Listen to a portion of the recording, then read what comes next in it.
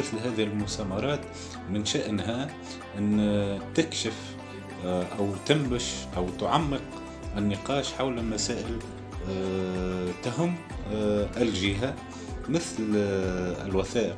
اليوم نتناولنا مسألة الوثيقة التاريخية ودورها في الكشف عن عديد المعطيات اللي تهم الجهة ظلت مسكوت عنها.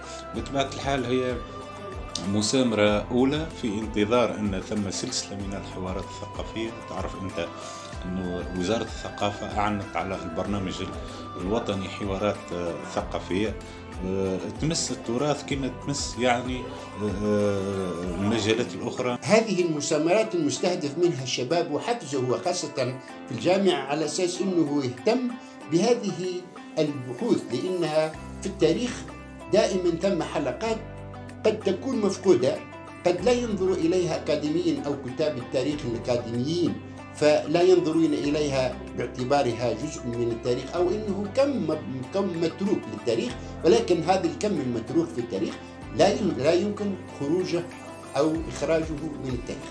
وهذا في حقيقة الأمر يصب في الاتجاه العام لكتاب التاريخ تونس بخصوصياتها وخويصاتها على أساس أن التاريخ يكتمل في نهاية المطاف عندما يعرف الشمالي عن الجنوبي ما يكفي ويعرف الجنوبي عن الشمالي ما يكفي. من لا تاريخ له لا هوية له والشباب الشباب للأسف آه، للأسف آه، غير ملم بتاريخه غير آه، ما يعرف حتى شيء على على تاريخ جهته لأنك لازمك تعرف الأنساب تعرف